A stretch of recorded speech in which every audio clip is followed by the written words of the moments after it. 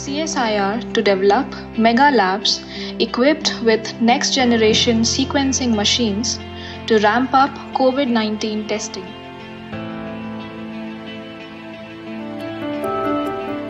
Union Agriculture Minister launches Krishi Megh KVC ALUNet on the lines of Digital India initiative.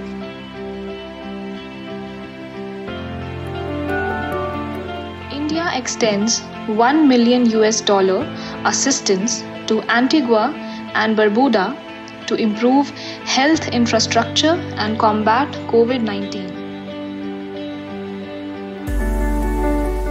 High rate of deforestation flagged by a study in Papum Reserve Forest in Arunachal Pradesh.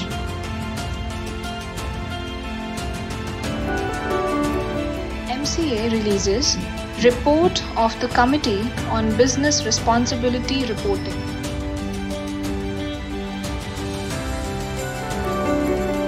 Government of India allows sales of electric vehicles without pre-fitted batteries to reduce the cost by 50%.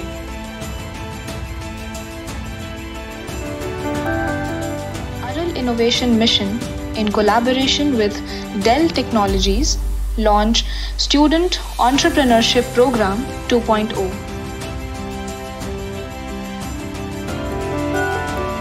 DAC approved procurement of indigenously made 106 basic trainer aircraft HTT 40 worth rupees 8722 crores.